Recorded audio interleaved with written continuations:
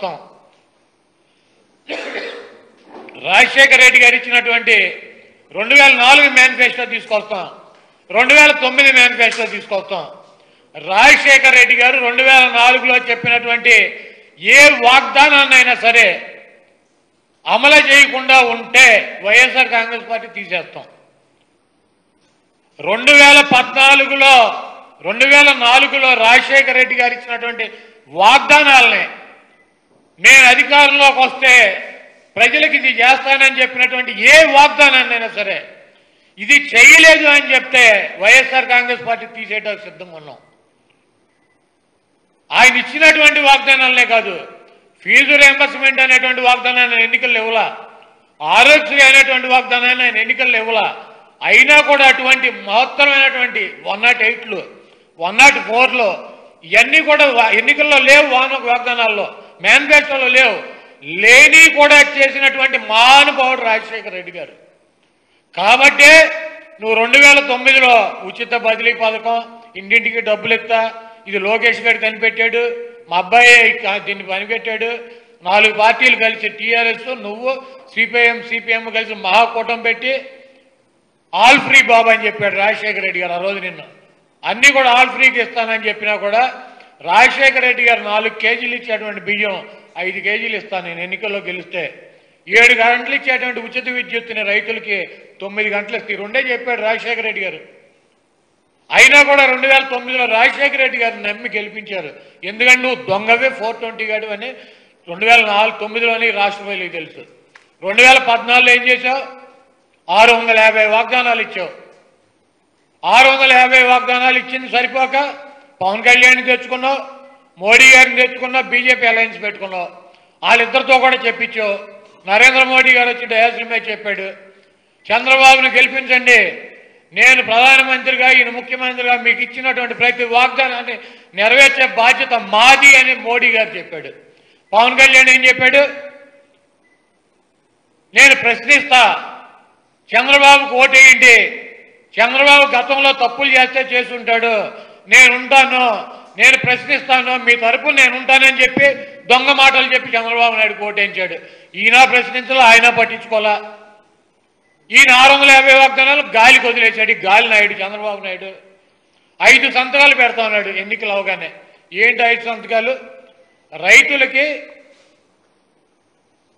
ఎనభై ఏడు వేల కోట్ల రూపాయల అప్పు రద్దు చేస్తా ఫస్ట్ సంతకం అన్నాడు. ఎంత రద్దు చేశాడండి? ఎనిమిది వేల కోట్లు చేశాడా? ఎనభై ఏడు వేల కోట్లలో ఎనిమిది వేల ఏడు వందల కోట్లు టెన్ పర్సెంట్ చేశాడు. కనీసం టెన్ పర్సెంట్ కూడా చేయలే. అది అయిపోయింది. డ్వాక్రా మహిళలకు రుణాలు రద్దు అన్నాడు. డ్వాక్రా మహిళలకు రుణాలు రద్దు చేశాడు. ఈ రాష్ట్రంలో ఉన్నటువంటి బెల్ట్ షాపులన్నీ రద్దు అని చెప్పాడు.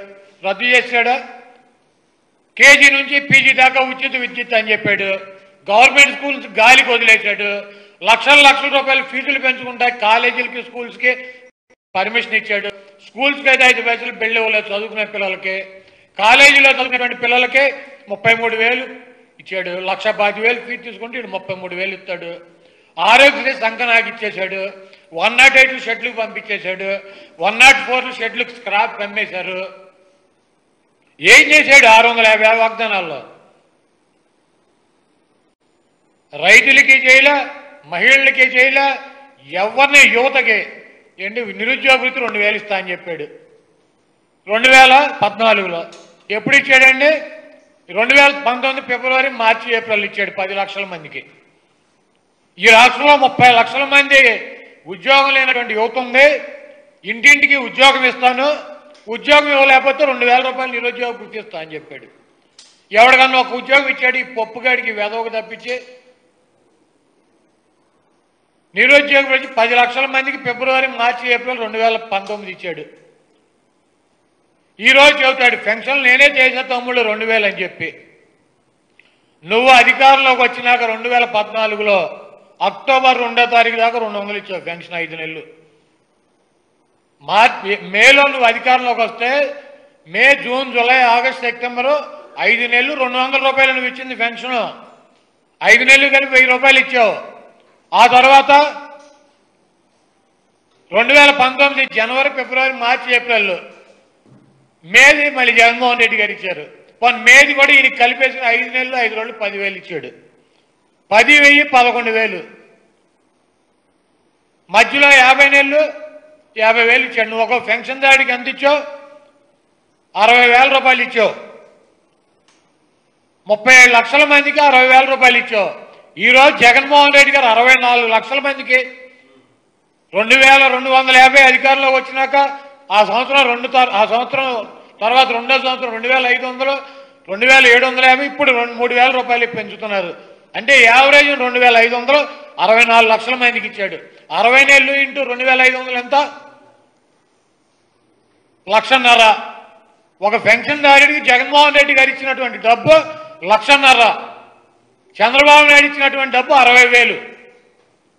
ముప్పై ఏడు లక్షల మందికి ఇరవై రెండు వేల కోట్లు చంద్రబాబు ఇస్తే ఈ రాష్ట్రంలో వృద్ధులకి వితంతులకి వికలాంగులకి ఐదు సంవత్సరాలు ఇరవై రెండు వేల కోట్లు ఇచ్చాడు చంద్రబాబు నాయుడు. ఈరోజు జగన్మోహన్ రెడ్డి గారు తొంభై ఏడు వేల కోట్ల రూపాయలు ఇస్తున్నాడు. ఇయే పెన్షన్ రూపంలో. నీకు జగన్మోహన్ రెడ్డి గారికి ఏమైనా సంబంధం ఉందా? నలభై ఐదు సంవత్సరాలు దాటినటువంటి మహిళలకి పద్దెనిమిది వేల ఏడు వందల యాభై రూపాయలు ఇస్తున్నాడు. అంటే నెలకెంత? పదిహేను వందల పైన. ఇప్పుడు ఈ పదిహేను వందలు ఇస్తానని చెబుతున్నాడు. చదువుకునేటువంటి విద్యార్థులకి మగ అయినవచ్చు ఆడవచ్చు వసతి దీవెన విద్యా దీవెన స్కూల్ పిల్లలకి. స్కూల్ ఆధునీకరణ చేయటం. గతంలో చదువుకునేటువంటి పిల్లలకి ఫిఫ్త్ క్లాస్ దాటి నాకు ల్యాప్టాప్లు ఇస్తానని చెప్పాడు ప్రతి విద్యార్థికి. ఎవరికన్నా ఇచ్చాడా? ఈ వెధవ. ఒక్క ల్యాప్టాప్ ఇచ్చాడు ఎవరికన్నా? కేజీ నుంచి పీజీ దాకా ఎవరికైనా ఉచితంగా వెచ్చిచ్చాడా? గవర్నమెంట్ స్కూల్స్ అన్నింటిని మూసేసి పాడి పడిపోయేటట్టు చేశాడు. ఈ రోజు చంద్రబాబు నాయుడు పద్నాలుగు సంవత్సరాలు ముఖ్యమంత్రిగా ఉన్నాడు. ఎన్టీ రామారావు ఏడు సంవత్సరాలు ముఖ్యమంత్రిగా ఉన్నాడు. ఆ ఏడేళ్ళు కూడా నేను వెనకాల నడిపా. రామారావుకి ఏం తెలవదని చెబుతాడు ఈరోజు. నలభై సంవత్సరాలు రాజకీయాలు ఉన్నావు. ఇప్పుడు వచ్చి మళ్ళీ నాకు ఓటేయండి. నేను నిరుపేదలను ధనవంతులు చేస్తాను. నీ పద్నాలుగేడు ఎవరి సంఖ్య నాకెవరు నువ్వు? ఈ పద్నాలుగు సంవత్సరాలు ఎవరి సంఘ నాకేవు సెంటు స్థలం ఇస్తే సమాధి కట్టుకో లేకపోతే శ్మశానం అని చెబుతున్నావు. నువ్వు పద్నాలుగు సంవత్సరాలు ముఖ్యమంత్రిగా ఉంటే ఈ రాష్ట్రంలో ముప్పై లక్షల మంది పేద ప్రజలు ఇల్లు లేకుండా ఎందుకున్నారు నువ్వు ఎందుకు ఇవ్వలా? ఇప్పుడు కొత్తగా వచ్చి ఇస్తానని చెబుతావు. బుద్ధి లేదు. అన్ని గాలి మాటలు. జగన్మోహన్ రెడ్డి గారిని తిడతాం.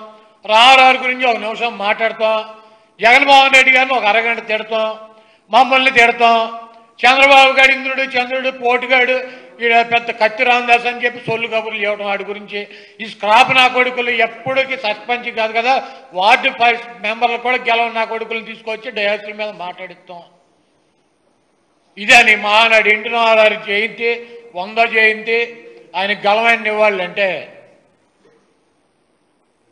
చంద్రబాబు అంటే పెద్ద బుర్ర ఉందంట ఆయన అన్ని క్రియేట్ చేస్తాడు. ఏం క్రియేట్ చేస్తాడు?